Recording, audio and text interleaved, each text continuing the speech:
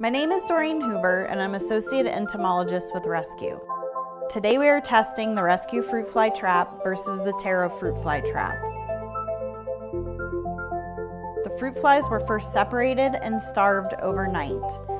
Approximately 200 fruit flies were used for each test, and they were emptied into the cage.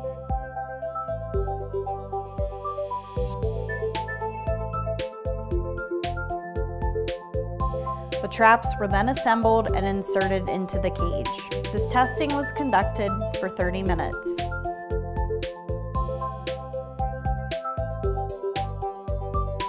Then, the next replicate was conducted with the positions switched to eliminate bias. At the conclusion of testing, the traps were removed and the fruit flies were knocked down with CO2. These traps were then taken into another room and dumped onto a paper towel in the sink so the fruit flies could be counted. After 30 minutes of testing, the rescue trap caught 166 fruit flies, while the Terro trap caught six fruit flies.